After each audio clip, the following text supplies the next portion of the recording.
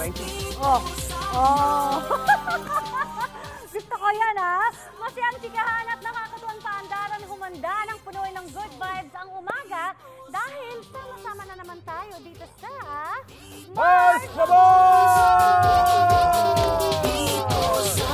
Cute na cute na celebrity couple na mga kabanding natin today para personal na mag-share ng mga kwento sa likod ng mga nakakaaliw ng mga vlog entries at social media posts nila. I love these guys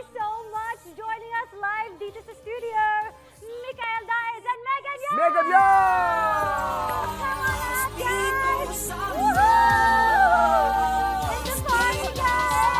welcome! It's a party, guys!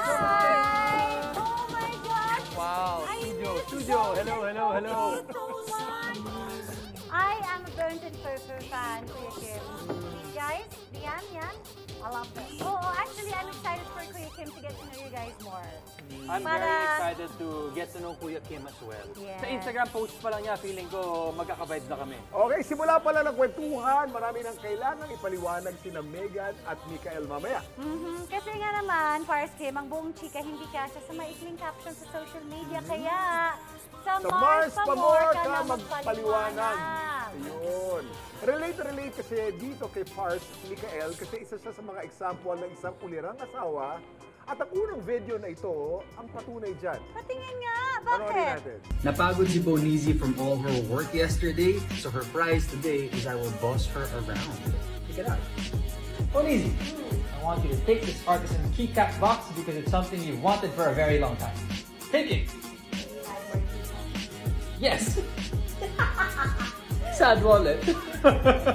Bonizi, I want you to sit here with Soba and enjoy all the keyboards you want all day.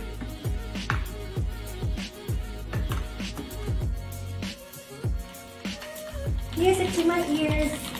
While Bonizi enjoys her keyboards, ako yung magwawali sa background. Bonizi, I want you to play all the video games you want to play today. True stories, true stories actually.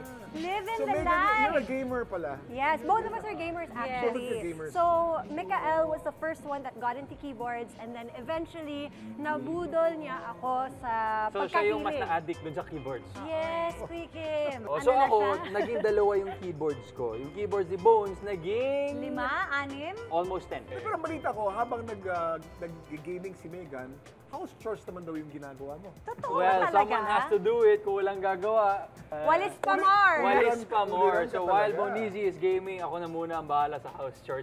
Baliktad naman na yung nangyayari pag ako yung nag-vlog o pag Ah. nag-edit ako.